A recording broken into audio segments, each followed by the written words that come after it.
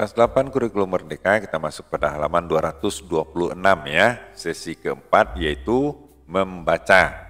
Nah, di sini ada keterangannya, kamu telah membaca teks-teks, artinya beberapa teks tentang menyelamatkan seekor kura-kura laut, kampanye anti buang sampah sembarangan, dan sebuah kampanye kesadaran akan bersih-bersih di Bali. Nah, itu tiga, tiga teks ya. Ketiga teks tersebut adalah cerita faktual. Cerita tersebut adalah fakta. Cerita-cerita tersebut disebut dengan faktual recount, ya, recount faktual.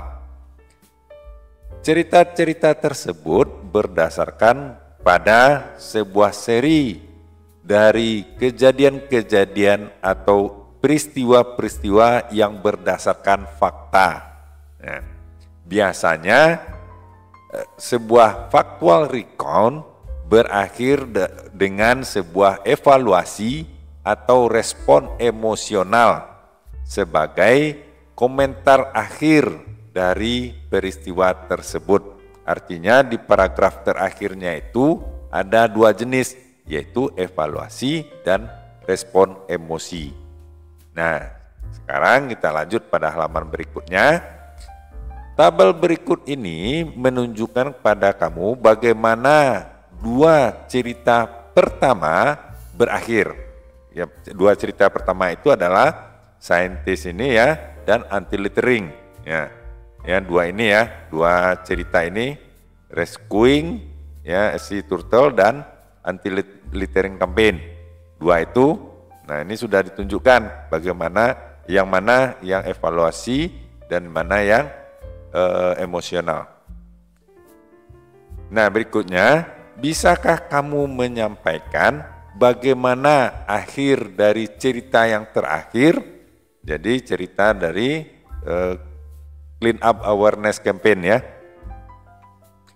Checklist kolom yang terbaik yang mengindikasikan bagaimana akhir cerita itu berakhir.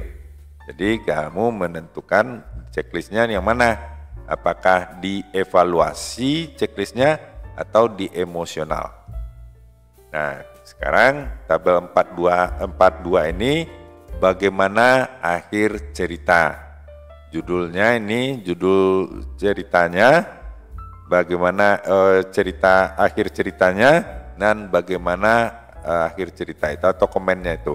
Kamu menentukan apakah ini evaluasi atau emotional respon. Nah, judul untuk uh, judul cerita saintis para ilmuwan menyelamatkan seekor kura-kura laut.